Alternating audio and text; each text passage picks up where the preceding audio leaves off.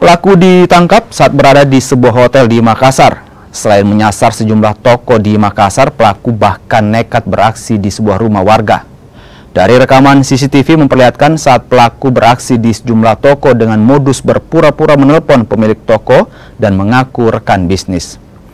Atas persetujuan pemilik toko, pelaku lalu mengambil uang pada karyawan. Modus serupa juga dilakukan di sebuah rumah di Kecamatan Marusu, Kabupaten Maros, yang hanya dijaga oleh anak-anak dan nenek korban.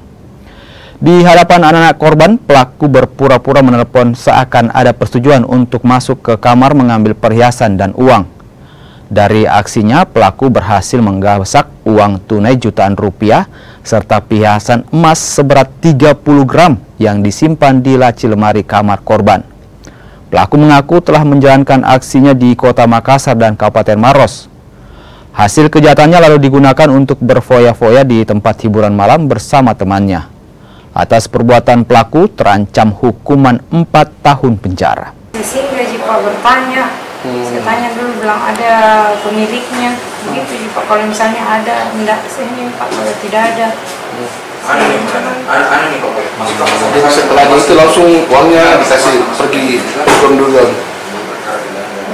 THM kehidupan iya Pak.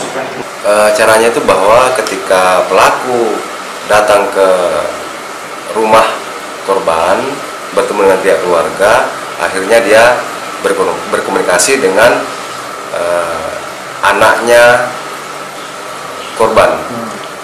Kemudian apa yang diminta? Apa yang diminta dari situ? Jadi soalnya itu bahwa uh, uang ada disimpan di lemari. Akhirnya pelaku bertanya kepada anak yang di rumah tersebut bahwa di mana barang-barang? Kata mam ibunya bahwa barangnya ada di kamar uangnya di lemari. Hmm, kemudian kemudian uh, si anak ini mengantar ke lemari ya. uh, ke kamar